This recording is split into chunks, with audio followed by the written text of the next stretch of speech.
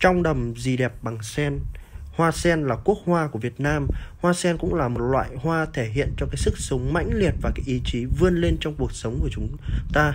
Như chúng ta biết thì để nở ra được một bông hoa sen thì uh, cái nụ sen ấy sẽ phải chui từ dưới qua một lớp bùn, qua một lớp nước và ngoi lên bên trên mặt nước để tạo ra một cái bông hoa uh, thơm ngát và đẹp cũng như con người chúng ta phải trải qua tôi luyện thì mới trở nên mạnh mẽ và trở nên thành công đây là mẫu tranh sứ được sản xuất tại Bát Tràng Việt Nam với họa tiết hoàn toàn được vẽ thủ công bằng tay.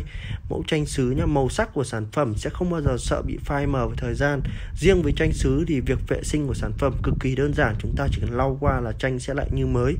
Các bạn có thể nhìn thấy cái chất men của sản phẩm rất là bóng và mẫu tranh hoa sen như các bạn nhìn thấy đây đang được vẽ theo lối 3D như chúng ta có thể nhìn thấy rất là sâu.